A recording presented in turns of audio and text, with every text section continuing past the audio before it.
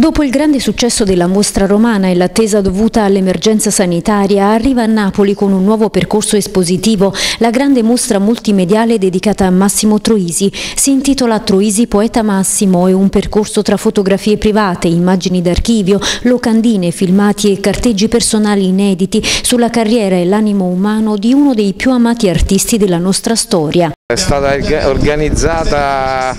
secondo me grazie a un miracolo di combinazione d'amore per Massimo di tutte le persone che,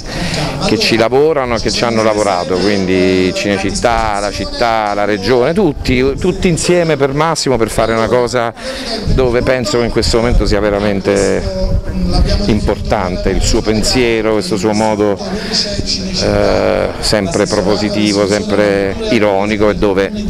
ci diceva spesso di provare perlomeno a non prenderci troppo sul serio. Promossa e organizzata da Istituto Luce Cinecittà con l'assessorato alla cultura e turismo del comune e 30 Miles Film, la mostra è curata da Nevio De Pascalis e Marco Dionisi con la supervisione di Stefano Veneruso e resterà a Castel dell'Ovo fino al 25 luglio. La mostra partiamo dal titolo, il perché Troisi Poeta Massimo, perché eh, io lo dico spesso, la prima cosa che mi viene in mente quando, quando vediamo, quando vedo un'immagine, uno sketch di Massimo Troisi è quella è il sorriso, è, questo, è questa fortissima eh, verve comica, questo impatto comico che ha.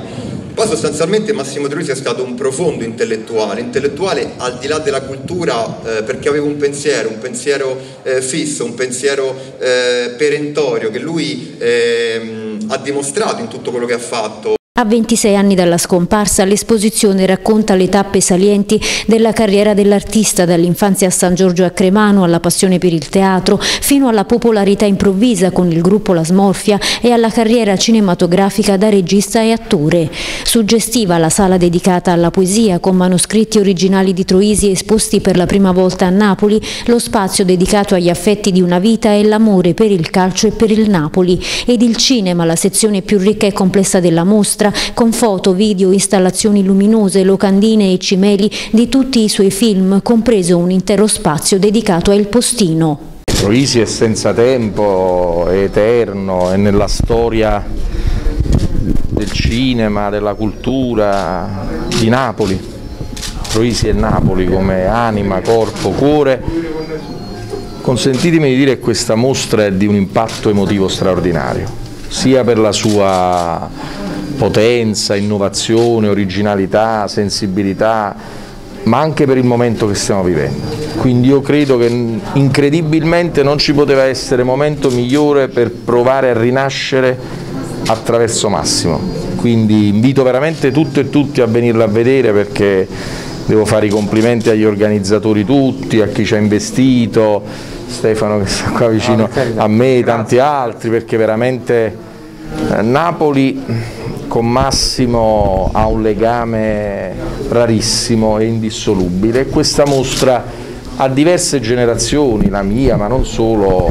rinnova quelle emozioni che non sono mai svanite. L'importante è avere la consapevolezza che Troisi è inarrivabile, inimitabile, è il più grande di tutti e quindi eh, tutti, lo, tutti, noi lo guardiamo con, con, con gli occhi dire, dei, dei, bambini quando vedono le, le, cose più belle del mondo. Io quando